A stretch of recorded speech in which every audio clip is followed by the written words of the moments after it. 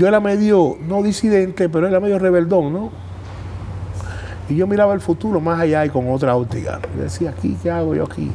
Y yo quería que mis canciones se conocieran por ahí, a lo mejor que era ambicioso, o sí. Y empecé a hacer historias, algunas reales y otras inventadas, que ya después con el tiempo no sé cuáles son las de verdad y cuáles son las de mentira.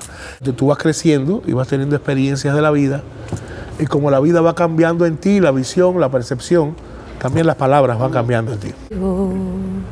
Es cuestión de olvidar. Esta semana en Consentido conoceremos a Francisco Céspedes, cantante cubano emblemático y reconocida figura dentro de la música latinoamericana.